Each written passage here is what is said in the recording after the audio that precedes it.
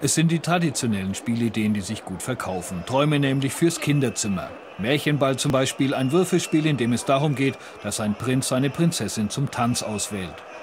Puppenkleider anziehen, eine Spielidee, die nie aus der Mode kommt. Willkommen in meinem Schloss.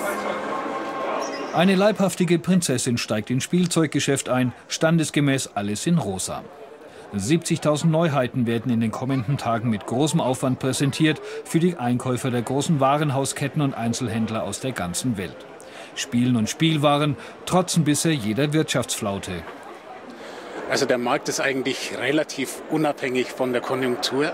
Äh, spielt, gespielt wird immer und Spielwaren werden immer gekauft. Wir haben auch in der wirtschaftlich schwierigen Situation 4% Wachstum in Deutschland gehabt.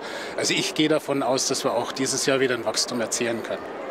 Im vergangenen Jahr haben die Bundesbürger pro Kind im Schnitt 250 Euro für Spielzeug ausgegeben. Jetzt könnten noch einmal 89 Euro dazukommen, wenn sich die Idee durchsetzt, ein Schmusetier nach einem Kinderbild individuell anfertigen zu lassen. Ein großer Trend der Spielwarenhersteller Toys 3.0 kombinieren klassische Spielwaren mit Tablet-Computern oder Smartphones.